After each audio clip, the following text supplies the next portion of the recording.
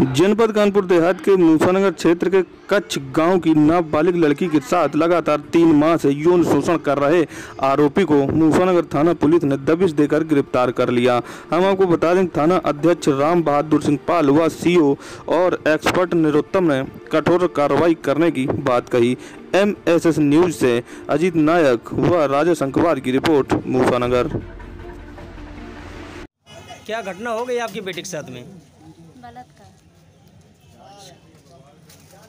किसने किया बलात्कार? रिश्तेदार। बेटी की क्या उम्र है? बारह साल। किस क्लास में पढ़ती थी? पाँच पुलिस ने अभी तक क्या कार्रवाई की? कार्रवाई किया ठीक है आरोपी पकड़े गए या नहीं पकड़े गए। कितने लोग कितने लोग थे इस घटना में? तीन तीन। नहीं तीन लोग थे क्या? तीन बलात्कारी थे या क्या था मामला? एक बलात्कारी और सब साथ में। और सहयोग देने वाले थे। लड़की है। जी। अब कुछ रिश्तेदार आ कर कर हाँ। हम्म, और उसको पकड़ कर उसकी बेइज्जती कर दी और क्या? ये है। मतलब बेजती किया क्या बेजती किया?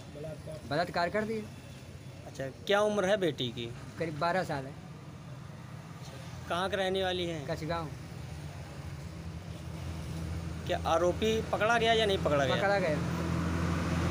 कितने लोग थे इस घटना में? हैं? तीन लोग?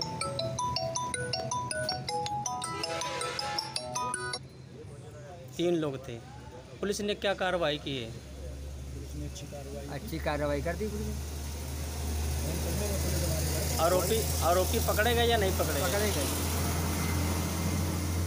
आप नाबालिग पीड़िता के क्या हैं आप? हम उसके दादा हैं। अच्छा क्या घटना हुई है बच्ची के साथ? बलात्कार हुआ उसके साथ। क्या उम्र है बच्ची की? बारह साल। बारह साल। किस क्लास में पढ़ती थी?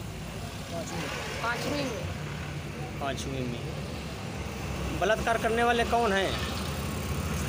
घर ही के हैं और एक रिश्तेदार है।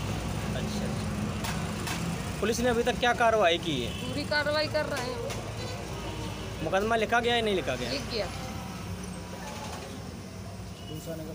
कैसे कितने दिन बाद की घटना है ये? ये दो महीने पहले की है। अभी कैसे पता चला इस घटना को? जब उसकी माँ आई गाँव तब पता चला।